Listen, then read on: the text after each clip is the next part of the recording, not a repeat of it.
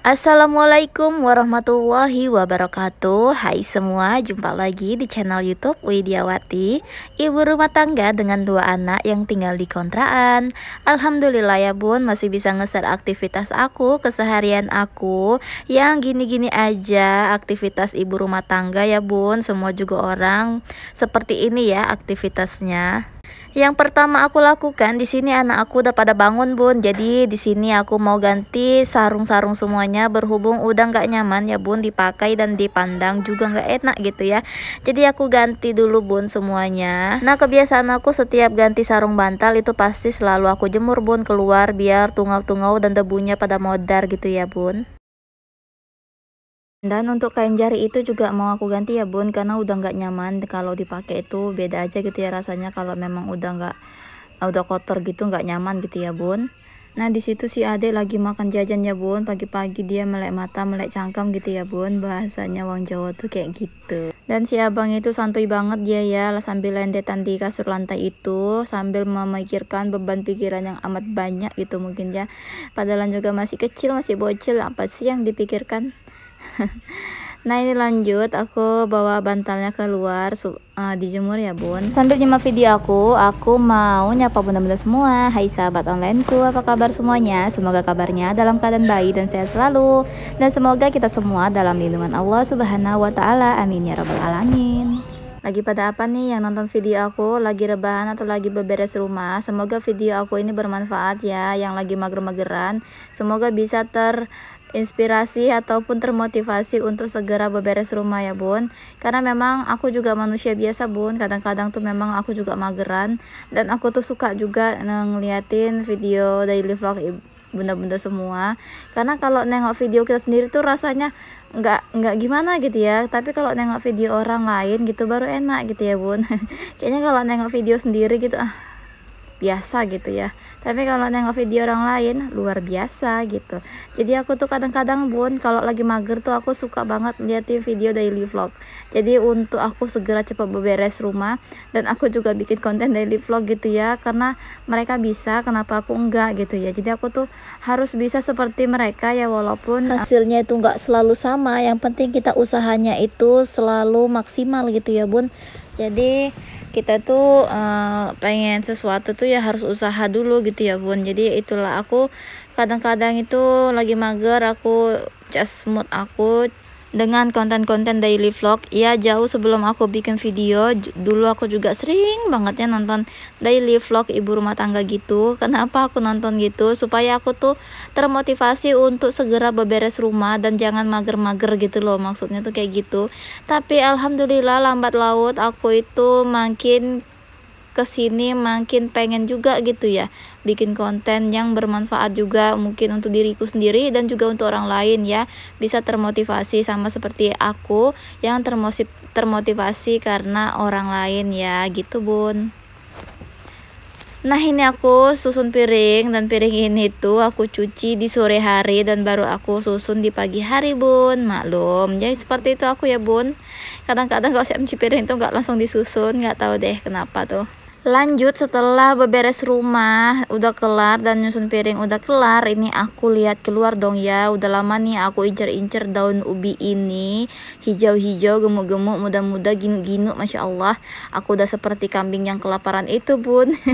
Nggak tahu kenapa ya aku kalau lihat daun ubi muda-muda gini Masya Allah aku tuh bener-bener uh, apa ya namanya nafsu banget gitu bun.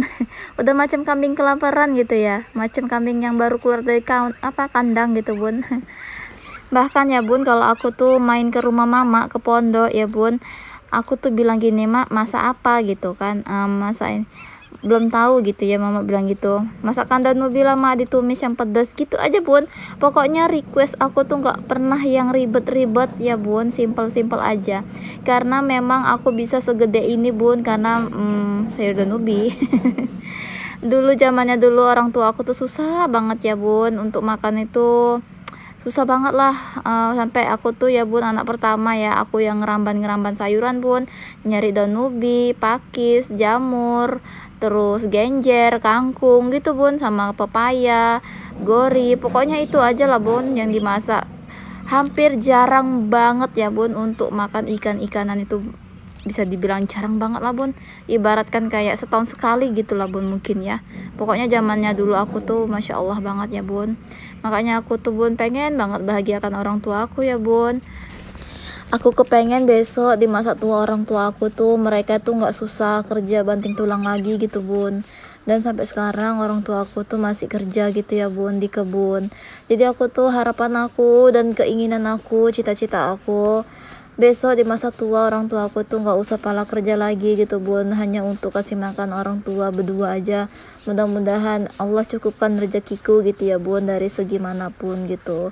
Memang sih dari sejak aku gadis ya um, aku kan cuma tamat SD doang gitu ya bun. Jadi tuh sejak tamat itu tuh aku langsung kerja bun ikut brondol gitu ya.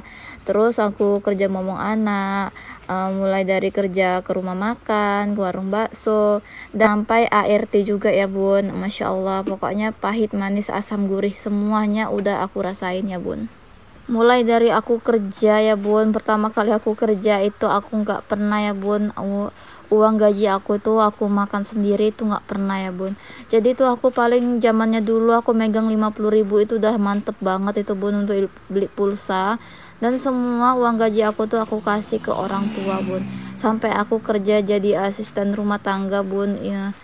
Uh, jadi sama orang Cina gitu kan bun di Pekanbaru itu masya Allah semua gaji aku 1,4 itu sama orang tua cuma 200 aja bun untuk aku untuk 100 beli uh, skin skincare dan juga 100 lagi beli pulsa gitu bun.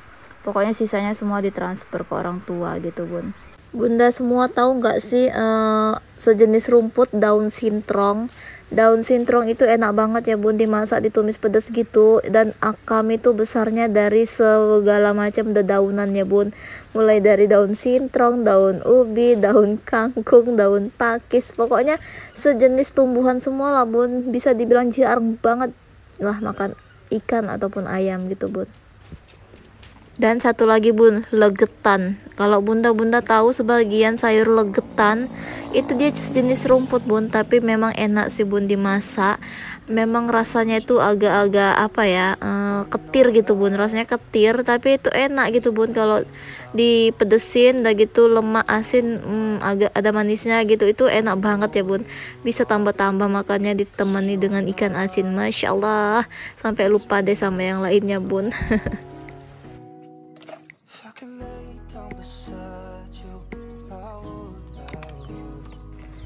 lanjut. Nah di sini aku mau panen tomat aku bun. Udah ada yang merah-merah tuh masya Allah. Ada sekitar 5 atau 6 biji gitu ya bun yang udah merah. Jadi ini aku ambil aja. Takutnya nanti kelamaan jatuh dia busuk ya bun. Bonyok duluan gitu. Jadi ini aku ambil aja. Dan tara ini ada 5 buah masya Allah. Gemes banget ya. Rasanya itu nikmat banget dan puas gitu ya kalau manen hasil sendiri gitu ya bun walaupun uh, cuma sedikit tapi itu sangat puas gitu nih dan ini lagi terong cuma sebiji bun. Masya Allah udah besar. Dan ini aku mau potong. Dan langsung aku eksekusi nanti bun. Aku kan punya sambal balado gitu sih. Jadi nanti terongnya ini tinggal aku goreng dan sambal baladonya aku ambil gitu bun. Nah lanjut ini aku mau review uh, apa namanya daun sop aku bun. Aduh gemuk banget hijau-hijau ya. Dan itu di bagian atasnya udah kopong dua tempat ya bun. Karena memang asal ada orang datang ke rumah pada sur semua tuh bun sama daun sop aku. Jadi pada minta dibeli gitu. Jadi itu karena udah besar. Dan satu tempat itu ada dua dan tiga batang dan udah besar. Jadi aku hargai 5000 ya bun. Satunya satu satu kantong gitu bun. Jadi aku tinggal congkel aja sih bun. Tapi ini nanti rencananya mau aku pindahin ke polybag aja bun.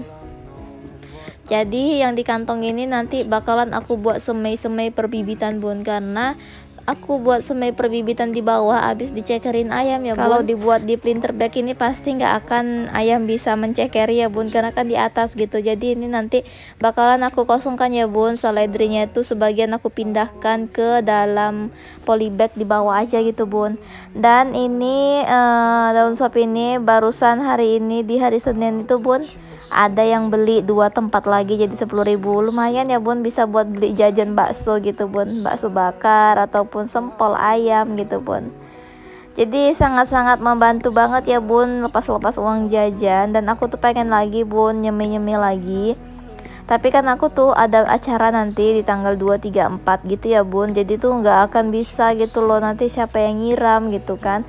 Aku tuh khawatir bukan apa-apa khawatir tanaman aku nanti gimana gitu ya aku masih bingung nih bun. Lagi muter otak aku. Gimana caranya nanti tanaman aku itu bisa nggak kekeringan air gitu sementara kan aku tiga hari gitu ya bun nggak di rumah.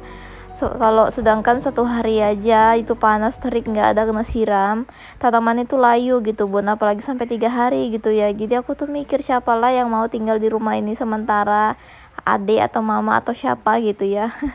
Tapi rasaku nggak mungkin mau karena memang udah punya kegiatan masing-masing gitu bun. Kayak kerjaan gitu susah ditinggal ya bun. Nah bun ini aku sengaja ya jemur kainnya itu di luar biar bunda-bunda semua itu lihat suasana baru gitu. Nggak hanya di dalam rumah mulu gitu ya. Selama ini kan aku di dalam rumah mulu gitu ya bun. Jadi nih aku buat keluar aja biar enak gitu dipandang gitu ya bun. Itu yang di karung tanah solid ya bun. Uh, rencana itu nanti bakalan aku masukkan ke dalam polybag polybag jadi nanti tinggal kalau ada bibitnya tinggal dipindahin aja gitu bun. Biar hitung-hitung bersentuhan dengan alam gitu ya bun. Udah lama nih aku nggak megang tanah gitu ya. Jadi rindu juga mau megang tanah. Jadi besok bakalan aku isiin ke polybag gitu ya bun aku kadang heran ya bun nyuci dua hari sekali kok cepat banget uh, banyaknya gitu ya cucian ini. Heran sih kenapa sih kayak gitu? Apa perlu ya habis nyuci itu dibuang? Eh habis makai dibuang. Emang sultan apa? Buat makan aja wis mengge-mengge so gaya-gaya baju siap pakai dibuang ya bun. Bun eman-eman lah ya. Mending ya ditabung buat bangun rumah impian kita.